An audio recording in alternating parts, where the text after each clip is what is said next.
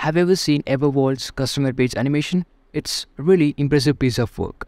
I think it would be a great learning experience to rebuild it ourselves.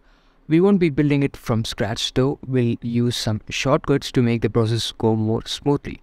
That way we can focus on learning how to create that animation and uh, we'll improve upon it. So let's get started. The first step is to gather our resources. This is the most difficult part to cover, so let's get started. If you take a look at this animation, there are actually two key factors to take note of. The first is how to use this mouse hover effect and the second is how to animate the text when we move the mouse inside that hover container. It's actually quite simple to do. We are going to use the GSAP plugin to achieve this animation. By the way, we built a portfolio using GSAP and some advanced techniques. I coded it in HTML, CSS and JavaScript so we can use it in React, Vue, etc. So if you're interested in checking them out, feel free to do so. And if you want to learn GSAP along with the 3D websites, check out the professional three.js course as well. Now that we have our resources, let's move on to the next step, creating a boilerplate code. Alright, now we have our resources, let's actually create the boilerplate template. So let's start with the HTML. I'll create a boilerplate template in VS Code using Control plus space and then I'll remove all the unnecessary details from this code. Next, let's define a class name for the body. Let's call it demo1. Then we'll declare a main element and inside that element, let's define a div class called frame. Inside the frame element, let's add some text for a frame title. Moving on, let's create a grid for each of our element. This grid will remain as the parent grid and instead of it, we're going to create a subgrids to make those little square boxes. So let's actually do that uh, by creating a div class called grid items. Inside the grid item elements, we are going to add an image, a label and an h1 tag. We're going to repeat this process until we are good to go. Once we are done with that, we're going to link our JavaScript. I'm going to import GSAP and index.js. Note that I'm using the type equals module attribute. This tells browser to load the script using the JavaScript module system. This allows the browser to load the script asynchronously and to catch it for future use. It also allows the browser to enforce the module's dependencies so that the script can be only loaded if all of its dependencies are loaded. Once we are done with that, let's move on to the CSS part. Inside CSS, we are setting up the box sizing property for all the elements on the page. This will ensure that all the elements have their width and height calculated based on their content, not their borders or padding. We are also setting the font size for the root element, which is the HTML element. This will set the font size for all element on the page. Finally, we are setting up some custom colors for the text, background, links and link hover states. These colors can be used to style the elements on the page. Next, we are setting up the style for the body elements. The body element is a main container for all the other elements on the web page. So we are setting the margin to 0 which means there will be no margin around the body element. We are setting the color to the custom color that we defined earlier which is gray we're setting the background color to custom color that we defined earlier which is black. We are setting the font family to a custom font. We are also specifying a few fallback fonts in case if user browser doesn't have that font installed. We are setting the font smoothing to anti-aliased which makes the text look more smoother on the screens.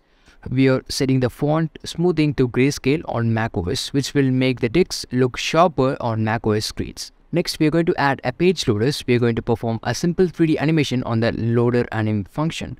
Then I'll stylize the rest of the things to make this web page look closer to Evervault. Once we are done with that, it's time to move on to the next step, breaking down the animation. The first step we want to work on is on the moving text animation.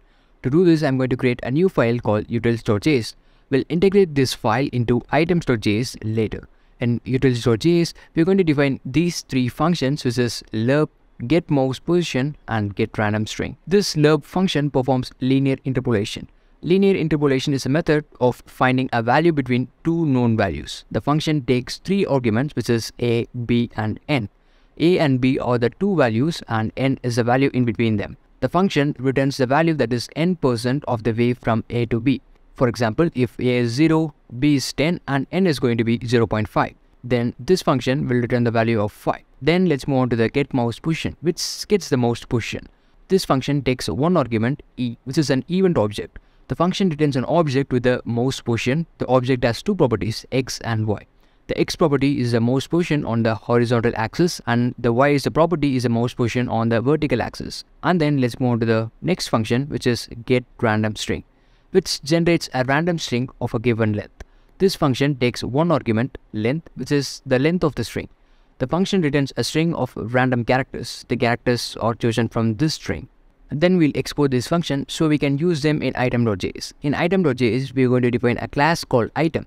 This class represents a DOM element with some interactive behavior.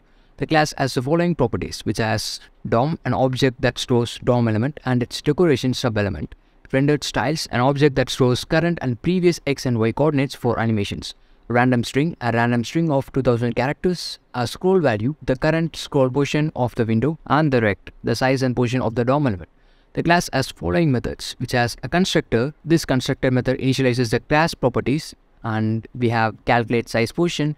This method calculates the current scroll position and size of the DOM element.